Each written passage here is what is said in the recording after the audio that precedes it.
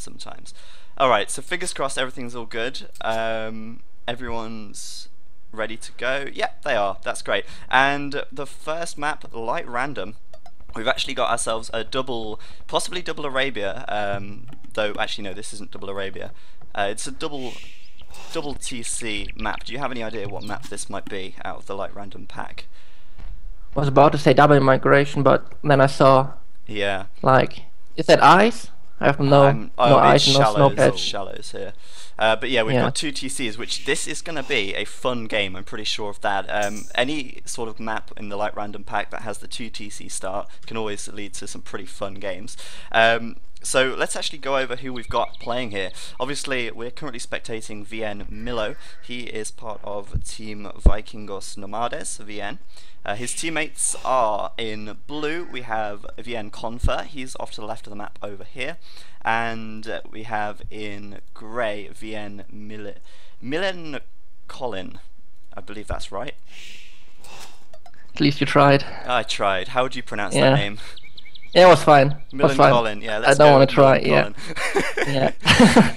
Um, they make up the team Vikingos Nomadas, obviously, and uh, their average rating uh, currently, based off of the random map overall ratings, is 1918, so 1918, uh, which is pretty high in comparison to the other team, who is made up of the Prophet, the Offwu, and Green. Yeah, out of three. um, who obviously we cannot see because we're not spectating those guys. We will be spectating those in the next game. They are CocoaJoe's Naked Camels, CJNC. Um, which I don't know about you, but I think that is the best name of any team in this tournament so far. Yeah, definitely. Definitely, and uh, their average rating is uh, 1537, so 1537. Um, so obviously there's a big rating gap there, and I think you know going into this game, VN are certainly going to be the favourites to win it. Yeah, I think so too. There's there's very little doubt about that.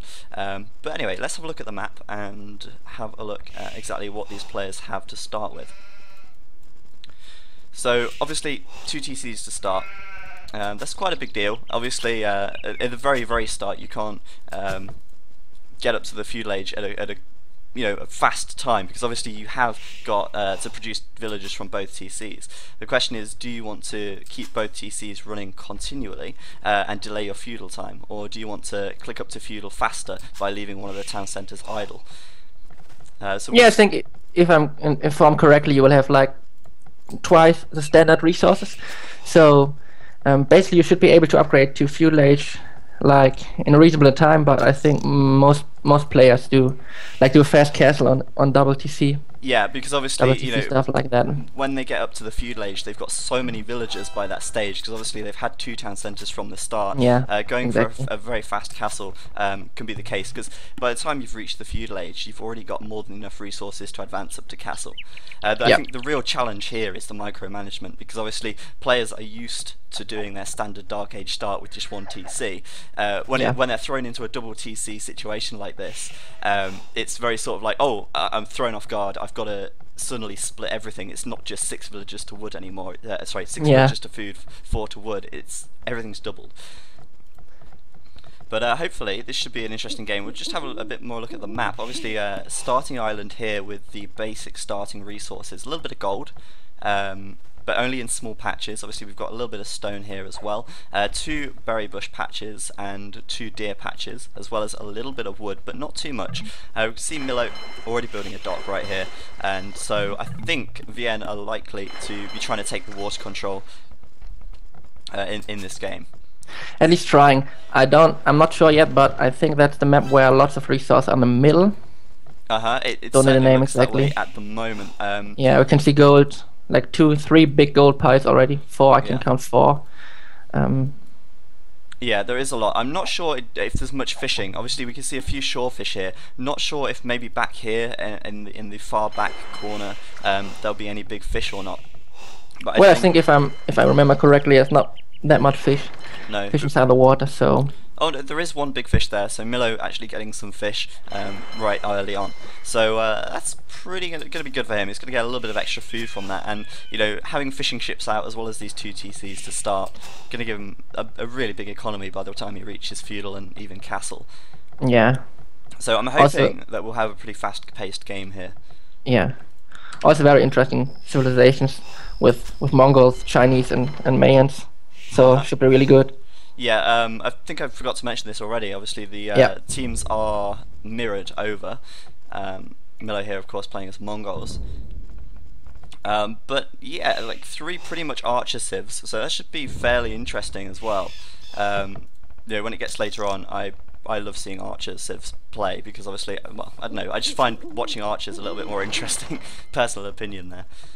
Yeah, I think we have a really nice, really nice set of civilizations. Especially Mongols, I think is really useful on, on maps like like this, like light random, where you need to scout and find out your map really correctly. So yeah, scout bonus comes in really handy, especially when you got like two scouts two yeah, scouts going. Of course, I mean we could probably attribute uh, Milo's highest score here at the moment pretty much down to his scouting, and I imagine these guys are either on Skype or communicating in some way. So having these two scouts here with the extra line of sight as Mongols, obviously going to be a really big help. Um, yeah. But obviously having the double array, oh, sorry, not double array, but the double TC start and double scouts at the start, um, it can actually lead to some interesting laming as well. Um, if all of the players decide to group their scouts up, you've suddenly got six scouts on the map. And uh, yeah. if you head over to the enemy's base with six scouts, um, you know, while you're in the Dark Age, you could be a you know a real pain, take out a lot of their villagers. Agree. But I don't know if well, it doesn't seem like at this stage either yes. any of them are actually going to be um, going for any cheese here with the with that. Well, you can do two things with the scouts. You, well, three things basically. You can team up and, and combine your forces with, with your teammates, or you can can like Milo's doing right now, move his scouts together, so uh-huh. you can pick up villagers like on his own, or you can split them and get like maximum scouting information. And personally, I, I agree with with Milo's decision to keep these scouts together. Yeah, definitely. Um, yeah.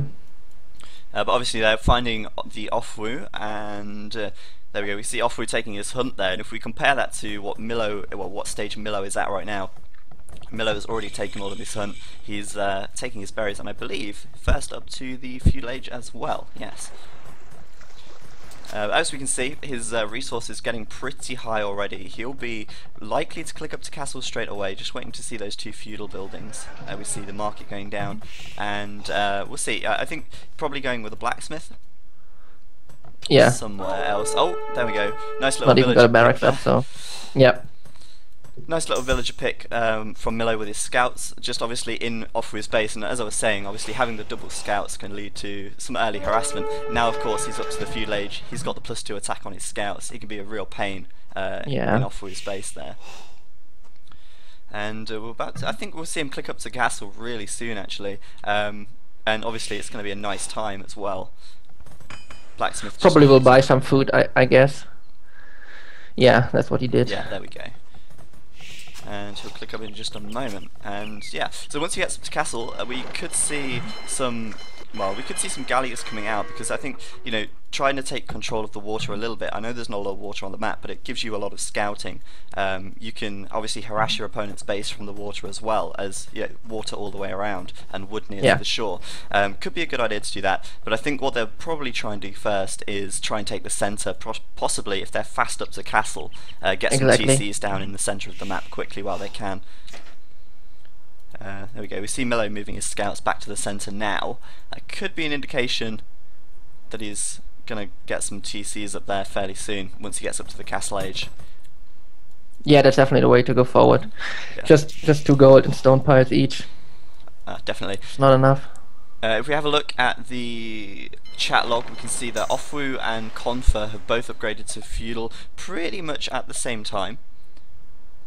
So that is well, obviously they're quite far behind in comparison uh, right now, but I can hear some attacks. Where is that coming from? There we go.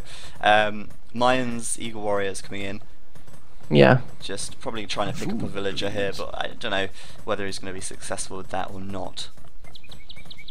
It's also an interesting aspect, uh, I, I, think. And we have a Mongol pocket on the one side and Mayans on the other side, so could see some knights, but Milo opted for for Blacksmith Market, so won't happen anytime soon, I guess. Yeah, obviously, if he was planning on making knights straight away, he would have gone. Well, had his black, sorry, not blacksmith, his barracks and stable up by now. Yeah. Um, exactly. but it looks like he's moving some villagers out right now towards the centre of the map. It could very well be the case that he just puts TCs down straight away in the centre and s- starts to secure that area. yeah. Obviously, once you get up to the castle age, um, putting your TC down, TCs down there, going to be quite hard for your opponent to really do much uh, once they actually sort of get in rage. Um, the chat is now working, by the way. That's great. Uh, obviously, yeah, we, are, we were 22 minutes delayed, but that's because we had to delay the start due to resolutions and all that stuff. Yeah. There we go. Little fight with the scouts right there. Milo obviously uh, gonna win that one, I think. Oh no, he's not actually. Prophet with uh, Yeah, low on, low on HP with both the scouts, so But that's not really so much of a problem to him now. He's scouted up the centre of the map. He knows where he's going to put his TCs down. Obviously, trying to secure the gold here, that's going to be quite an important thing for them. And Yeah. possibly, oh, okay, there we go. Using his villagers to get in there, and suddenly Prophet's finding himself the one being re- retreating. yeah. But obviously, scouts at this stage, just a couple of scouts, not really too much of a big deal. Um, checking quickly the chat, Offwoo's just gone up to the castle age. Um, Grey has gone up to the castle age as well.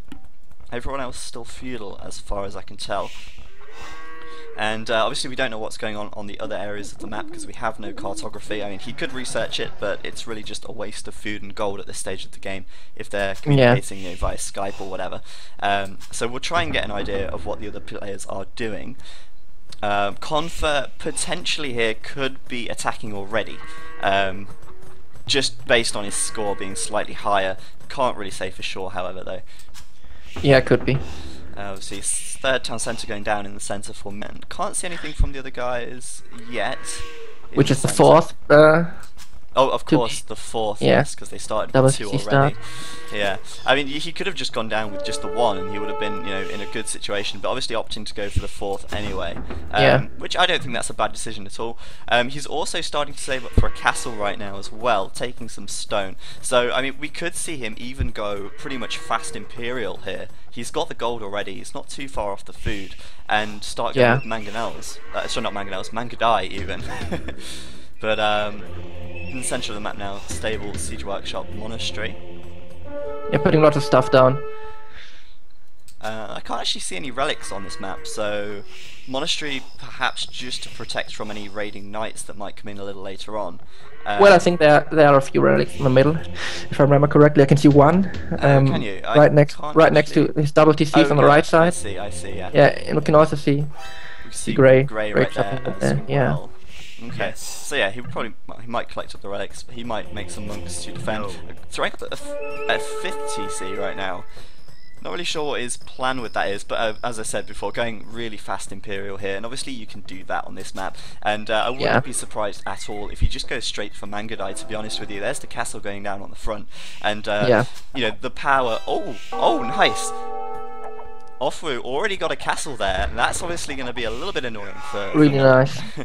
Yeah. Obviously trying to take some of the map control here. Uh, but obviously, here, Milo just going to build his castle a little bit further behind. Not really a lot that two plumed archers can do, to be honest with you. Um, maybe able to pick off a couple of villagers, but obviously with this TCs here, Milo's going to be fairly safe inside of there. Yeah. Actually, quite a few plumed archers from Offwu. I, I'm wondering if you can do anything with this. I mean, if he adds in some mangonels or something, he could start to take out some of these buildings. But it's pretty much solid now that Milo's going to get this castle up. And uh, of course, once he gets the castle, he's going to start making those mangudai. I think the problem problem for, for purple will, will be a Miller's Imperial Age in a second. I think he's nowhere near advancing purple. Yeah, of course, and he just that- just advanced uh, minute 17, so Yeah. I think he might be a bit too late to do anything really. Of course, and uh, once this castle is up as well, of course, Milo is going to be able to start making some Yeah. trebuchets, and that castle from Offwu is just not going to stay up very long at all. Um, Agree. Of course, with the castle here also, he's not going to be able to do much with those plumed archers at all. Uh, Offwu has, sorry, not Offwu, Green here, just upgraded to the castle age now.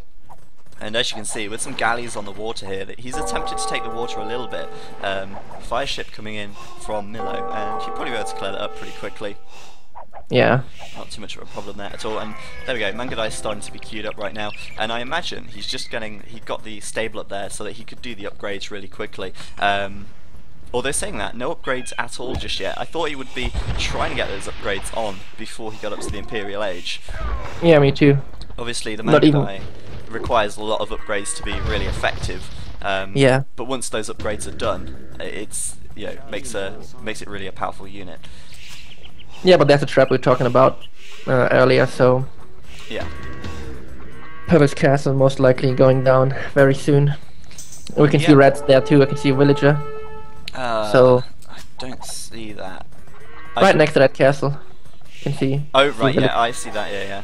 Um, I really, I cannot see those uh, castles staying up for long at all. Um, you see a town centre there from Prophet as well, uh, but obviously these trebuchets are already deploying. Milo can see all. He's uh, should be there. We go researching bloodlines right now, starting to upgrade his Mangudai at the blacksmith with the Bodkin arrow research. Yeah. And it really is, I think, now just a matter of time till this goes down and Milo can start to push his way through we still have no idea exactly what uh, Grey and Blue are doing. Uh, I imagine they are probably somewhere along the lines of launching attacks at the moment. I'm guessing they're on the water at some some area here because obviously Grey pinging the water right there. Um, we should probably, well, I don't really want to encourage the players to get cartography if they don't need it, but obviously it does help us a lot. Yeah, and I really don't know why why why, why the prophet put that TC down there. I think it was really really strange decision. yeah, Especially since you should have should have realized that there's a castle uh, Uh-huh. and Milo advantage to Age. Yeah, And also that castle from Ufu seems like just just put down that castle, uh, which will go down straight away. Exactly, there's one down trapped. right now. Ram's coming Yeah. in, and uh, I think he'll probably upgrade to Capped Ram pretty soon as well. Um, but now, obviously, of course, making those Mangudai as well, and he's going to have enough for another castle in just a moment's time. Yeah, Uh, obviously, of course, already plus two done on those, uh, plus one defense, and he well, he doesn't have a university yet, so that's for sure. Finally, getting cartography, so we can have a look what the other guys are doing. We see Confer down here on the water, trying to take some water control in this corner. Uh, looks like he's succeeding over there. Um, I do know the Prophet probably better player on water than on land. That is my knowledge of him. Um, what else can we see? Uh, Big Navy from Grey here as well, trying to batter down these walls from Green. Possibly he, he might go in there with an attack. Oh, and also, uh, actually, cavalry archers from from player three. Yeah, Uh, on Milo. that right there. Yeah. Um, I don't know how many he's going to be able to. What he's actually going to be able to do there. Interesting choice that he made. Uh, the cavalry archer. Of course, uh, he probably would have been better off going for knights. But obviously, you know, personal preference. Uh, obviously, if you go for cavalry archers, get those upgrades already, then um, you, you're ready to make Mangudai with those upgrades. Yeah, but you can always always opt for for crossbows. I think that would be a would be Yeah. a better decision.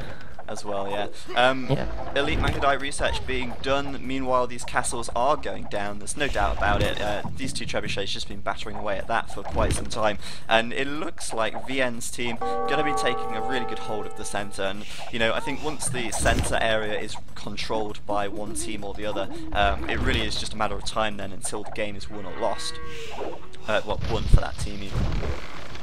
Well, I, I saw saw games where uh, the team that lost the middle could hold up for quite some time, especially if you got trade going. But Yeah. I think this game is looking pretty pretty won right now. Yeah, of course. Won't talk too early, but Even Yeah. if you, you know if you lose the center, you've still got the flanks as well, which can be walled off. But if they're not walled, if the walls get broken down, you've just you know another hole into your base. Um, Yeah. So you know being stranded on your island with enemies all around, you're not going to last long at all. More castles from Ofu in the center right here, but these Mangudais just you know absolutely cutting through these villages right here, and uh, is really going to start to push forwards and, and take this area. Pretty much no doubt about it. yeah, Oh, uh, interesting here from uh, Gray on the right hand side. Not. Oh yeah, he he broke through the walls there. He's throwing a castle down right outside of Green's town centre, and I don't even know if he's realised. He must have seen that. It's clearly in range of his TC, but that castle can Yeah. go up outside of his TC. Green though sending some cavalry archer through, which is you know interesting. He might be able to do some damage with that, but I think uh, Grey here going to quickly garrison inside that TC and not let them do so much. And Grey is just castle rushing him, which is always a fun strategy to see.